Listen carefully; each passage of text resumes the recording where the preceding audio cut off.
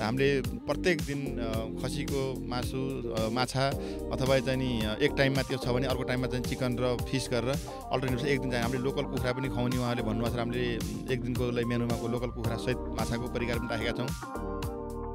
हामीले उहाँहरूले दिए अनुसारको बजेट गर्दाखेरि दुई करोड पच्चिस लाखको चाहिँ नि बिल हुन आउँछ। दर्शक पनि यति बेला हामी ठ्याक्कै भ्रिकुटी मण्डपको यो बगैँचाको गेटमा छौँ। अन्य बेला अन्य समयमा चाहिँ यो गेटबाट छिर्नलाई टिकटसहित छिर्नुपर्ने हुन्छ। तर आज भने काङ्ग्रेसको महाधिवेशन विशेष भएर यहाँनिर चाहिँ काङ्ग्रेसले आफ्ना प्रतिनिधिहरूलाई महाधिवेशन प्रतिनिधिहरूलाई चाहिँ खानको लागि अथवा नास्ताका लागि यो ठाउँलाई तय गरेको छ र त्यहाँनिर हामी प्रवेश गर्दैछौँ।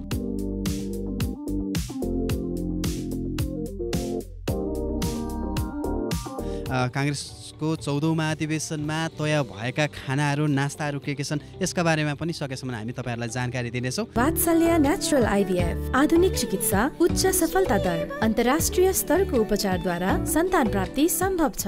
र यो चाहिँ भ्रिकुटी मण्डपको यो गार्डन एरिया हो बगैँचा एरिया हो। र यहाँ पनि तयारीहरू भइराखेको छ यो शुक्रबारको बिहान आज एक बजीदेखि मात्रै यहाँनिर चाहिँ महाधिवेशन सुरु हुने भनिएको छ। र सो अनुसार चाहिँ हामी यहाँनिर के छ त अहिलेको प्रारम्भिक दृश्य कस्तो छ? पूर्व तयारीहरू के भइराखेको छ? यसमा छौँ र हामी हेरौँ के छ अवस्था। दर्शकबिन यति बेला भने म यो काङ्ग्रेसको चौधौँ महाधिवेशन स्थलका लागि यो भ्रिकुटी मण्डपको बगैँचामा तयार भएको प्रतिनिधिहरूका लागि खानाका लागि नास्ताका लागि तयार ठाउँ जहाँ मेसमा आइपुगेको छु। यहाँ के के छ? खाने ठाउँहरू कसरी तयार गर्नुभएको छ? यो चार दिनमा महाधिवेशन स्थलमा आउने प्रतिनिधिहरूले के के खान पाउनुहुन्छ? सेड्युलमा के छ? यी विविध जानकारीहरू दिनेछु। र त्यसका लागि मलाई जानकारी गराउनका लागि चाहिँ दियालो फुडल्यान्ड दियालो फुडल्यान्डका खोपराज खराल हुनुहुन्छ। आउनुहोस् उहाँबाटै जानकारी लिउँ। यहाँलाई रातोपाटीमा स्वागत छ। धन्यवाद। यो महाधिवेशन स्थल यो भ्रिकुटी मण्डपको बगैँचामा ए अलिकति नौलो दृश्य बगैँचामा घुम्न आउनुपर्ने होइन? तर अब खाना आउनुपर्ने देखिन्छ। यसको बारेमा अलिकति जानकारी गराइदिनुहोस् न। हामी विगत बाह्र वर्षदेखि चाहिँ यो क्याटरिङ व्यवसायमा लागेका छौँ दियालो फुलल्यान्ड हामीले स्थापना गरेको। र अहिले हामी प्रतिस्पर्धामा दियालो फुडल्यान्ड र अनुपम फुडल्यान्डलाई चाहिँ संयुक्त रूपमा हामीलाई यो कार्य गर्ने मौका चाहिँ चौधौँ महाधिवेशनका चाहिँ खानपिन व्यवस्थापन समितिले हामीलाई चयन गरेको छ। र हामीले यो चार दिनमा प्रत्येक पटक फरक फरक स्वादको खाना खुवाउने जस्तो एउटै खानालाई हामीले चाहिँ नदोहोऱ्याउने किसिमले हामीले सम्झौता गरेका छौँ। किनभने धेरै ठाउँहरूमा खाना खाँदाखेरि उयो बिहानको खाना बेलुका बेलुका खाना बिहान गरेर पनि त्यस्तो चाहिँ भएको भन्ने गुनासोहरू आइरहेको छ। तर चाहिँ क्याटरिङ व्यवसायमा हामी लाग्दै गर्दाखेरि सकेसम्म स्वस्थकर खाना सबैले खान पाउनुपर्छ किनभने खाना नै जीवन हो र यसमा चाहिँ हामीले सम्झौता गरेका छैनौँ र हामीले प्रत्येक दिन खसीको मासु माछा अथवा चाहिँ नि एक टाइममा त्यो छ भने अर्को टाइममा चाहिँ चिकन र फिस गरेर अल्टरनेटिभ एक दिन चाहिँ हामीले लोकल कुखुरा पनि खुवाउने उहाँले भन्नुभएको छ हामीले एक दिनको मेनुमा लोकल कुखुरा सहित माछाको परिकार पनि राखेका छौँ। बिहानको ब्रेकफास्ट पनि कुनै दिन हामीले चना अन्डा जाम पाउरोटी चियाहरू राखेका छौँ। कुनै दिन चाहिँ हलुवा पुरी तरकारीहरू राखेका छौँ। कुनै दिन चाहिँ पराठाहरू राखेर चाहिँ त्यसरी हामीले प्रत्येक दिनको फरक ताकि हिजोको खाना खुवायो कि भन्ने चाहिँ त्यो भरम कसैलाई पनि नहोस् भनेर हामीले आफू धेरै सजग भएर यो कार्य गर्दैछौँ। जस्तो अब आज बेलुकादेखि खाना खुवाउनु पर्ने हुन्छ दिउँसो नास्ता पनि खुवाउनुहुन्छ होला होइन। ककलले यहाँनिर खाना आउने अनुमति ककललाई छ? यहाँ जो चाहिँ प्रतिनिधिहरू हुनुहुन्छ चाहिँ जति छ्यालिस सयजना प्रतिनिधि भएर आउनु भएको छ उहाँहरूलाई प्लस सुरक्षाकर्मीहरू र यहाँका स्वयंसेवक र मिडियाकर्मीहरू आउनु उहाँहरूलाई मात्रै भन्ने कुराकानी भएको छ हामीलाई यति जानकारी दिनुभएको छ। अब जस्तो प्रारम्भिक हिसाबै गरौँ न आज दिउँसोको नास्ताका लागि र आज साँझका लागि खानाका लागि के तय गर्नुभएको छ? आज दिउँसोको नास्ता भन्नुभएको छैन किनकि आज ओपन सत्र हामीलाई बेलुकाको चाहिँ डिनरको लागि मात्रै अर्डर गर्नुभएको छ। आजको बेलुकाको लागि चाहिँ पैँतालिस सयजनाको अर्डर छ आजलाई। भोलि बिहानको ब्रेकफास्ट पनि पैँतालिस सयजनाको लागि अर्डर गरेको छ भने भोलि दिउँसोको चाहिँ लन्च छ हजारजनाको लागि छ र भोलि बेलुकाको खाना चाहिँ चार हजारजनाको लागि अर्डर गर्नुभएको छ। खाना चाहिँ के के छ त? आज बेलुका मटन करी छ। चिकन रो रोस्ट छ अनि गएर मिक्स तरकारी छ अनि गएर साग छ दाल फ्राई छ सलाद अचार र डेजर्टमा दही राखेको छौँ। अब यसरी यो लगभग लगभग यस्तै यस्तै परिकारहरू तपाईँहरूले नदोहोऱ्याइकन गर्नु गर्छु भन्नुभयो। यसको टेन्टेटिभ लागत तपाईँहरूले एउटा इस्टिमेट त दिनुभएको छ होला पक्कै कम अलिकति दुई चार पर्सेन्ट तलमाथि होला। टेन्टेटिभ चार दिनका लागि चाहिँ कति बजेट तय भएको छ? हामीले उहाँहरूले दिए अनुसारको बजेट गर्दाखेरि दुई करोड पच्चिस लाखको चाहिँ नि बिल हुन आउँछ। किनकि हामीले बाह्र सय रुपियाँ तिन छाकको खानाको हिसाबले गर्दाखेरि हामीले बाह्र सय रुपियाँ पर हेड भनेर चाहिँ कोटेसन हामीले राखेका थियौँ। त्यही अनुसारको एक सम्झौता भएको छ। र यसमा हामीले कुनै ठाउँ जस्तो फरक फरक छ नि त मेनु।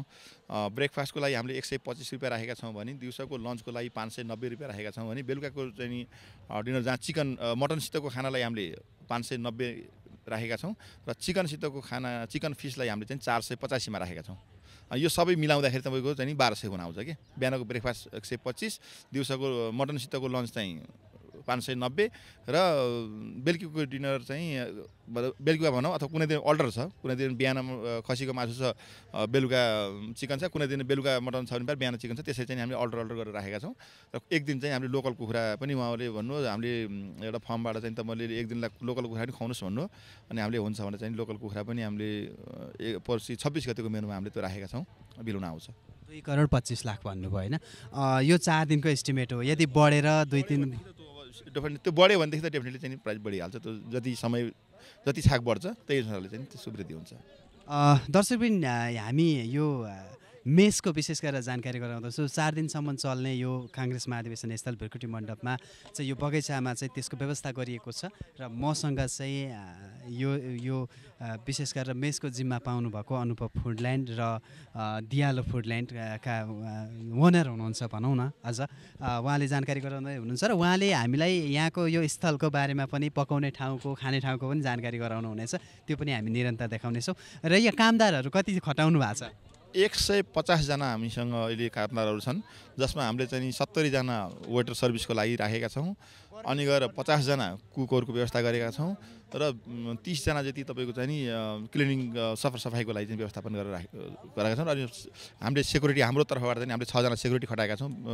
राति र दिउँसोको हाम्रो किचन व्यवस्थापनलाई सबैको हाम्रो चाहिँ सामानको सुरक्षा गर्नको लागि हामीले त्यसरी चाहिँ सेक्युरिटी पनि हामीले आफ्नो तर्फबाट राखेका छौँ। अब हामीले आजको बेलुकाको डिनरको लागि यहाँ स्टल लगाउँदैछौँ। हामीले बाह्रवटा स्टलबाट चाहिँ डबल लाइनद्वारा चाहिँ नि बाह्रजना चौबिस लाइनमा बसेर खाना खान पाउनुहुन्छ। कसैलाई पनि हामीले दस मिनटभन्दा बढी चाहिँ लाइन बस्न नपरोस् सकेसम्म छिटो गरौँ भनेर चाहिँ हामीले त्यो किसिमको व्यवस्थापन गर्दैछौँ। र अहिले हजुरहरूले देख्दै हुनुहुन्छ हाम्रो चाहिँ कर्मचारी भाइहरूले चाहिँ सेटिङ गर्दैछन्।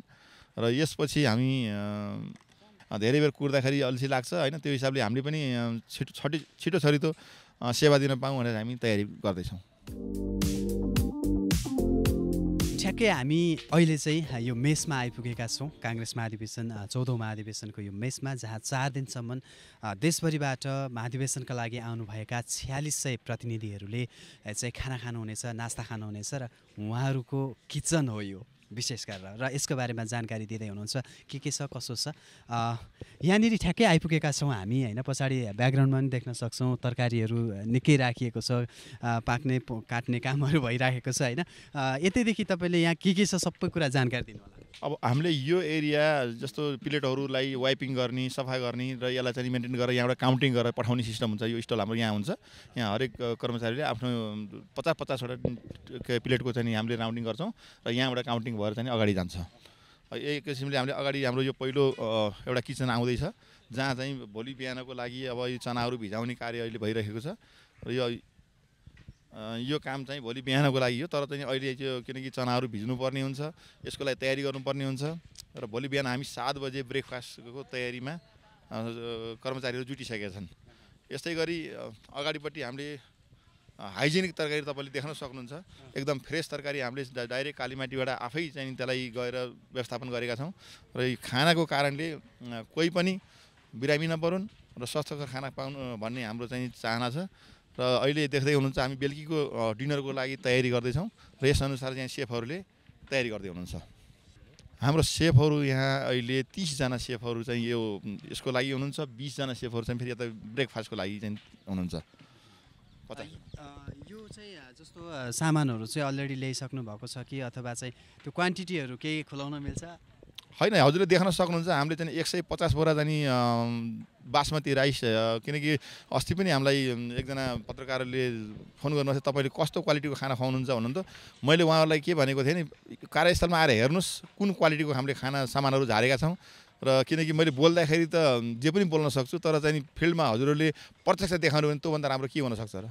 बासमती चाहिँ एक सय पचास झारिसकेको छ। अब नपुग्यो भने पछि फेरि हामीले झार्छौँ। त्यसै गरी हजुरले स्टोर देख्न सक्नुहुन्छ। मैले जसरी तपाईँलाई यो स्टोर पनि अनुगमन गराउँछु।